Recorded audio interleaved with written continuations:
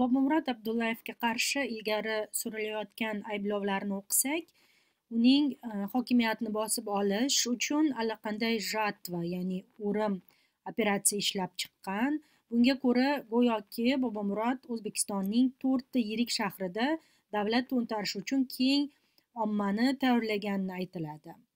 Bu jinoyat ishi stalin qatag'onlari paytida uydirilgani kabi absurd va dahshatlidir. Bu ishni o'zbekiston milliy xavfsizlik xizmati o'ylab chiqqan deb o'ylayman. Agar bobomurodga qarshi so'ralayotgan ayblovlarga jiddiy yondashsak u holda mxxdan biz real dalil isbotlarni kutamiz. Qanday qilib bir oddiy bechora odam kuch ishlatar tizimlari mutloq hokimiyatga ega bo'lgan davlatda to'ntarish uyushtirish mumkin? Davlat to'ntarish uchun bobomurodning qancha odami bo'lgan Э, haqidagi tafsilotlarni kutamiz. Ularni qancha quroli bor edi? Agar u beshta yirik shaharda isyon ko'tarmoqchi bo'lgan bo'lsa e, u shaharda kimlar uni qo'llab quvvatlagan bu odamlar qani? Ular ham hibsga olindimi? Ishonchim komilki hech bir isbot yo'q chunki bu uydirilgan ish. Ya'ni feyk bu to'ntarish faqat mxx xodimlarining kallasida mavjud. Hech narsani isbotlab o'tirmaslik uchun tergovchilar bobmurodni yaxshi advokatdan voz kechishga majburlashdi. Uning irodasini sindirish va aybini bo'yniga olishi uchun mana uch oydan beri mutloq izolyatsiyada ushlab turishibdi.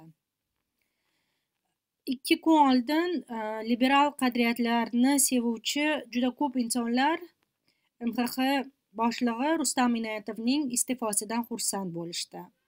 Man umid qilamanki bu iste'fo bobomurodga yordam beradi va u ozod etiladi. Yana shuni ta'kidlardimki mxxning bugungi kundagi shakli yo'q qilinishi kerak. Bu har birimiz uchun muhimdir. Mxx o'rnida terrorizm va uyushgan jinoyatchilikka qarshi kurashuvchi yangi tuzilma yaratilishi mumkin va bu idorada mutlaqo yangi odamlar ishlashi kerak. Chunki o'zbekiston milliy xavfsizlik xizmati bu sovet kgbning davomchisi. Kgb jamiyatni qo'rquvda ushlash uchun hech surishtirib o'tirmasdan odamlarni hibsga olib ularga qarshi yolg'onlar e, ya'ni yolg'on ayblovlar uydirar edi. Hamma joydan sovet hukumati dushmanlari qidirilar edi. E, Abdulla qodiriy cho'lpon va boshqa juda ko'p o'zbek oydinlarini qatag'on qilgan idora bu.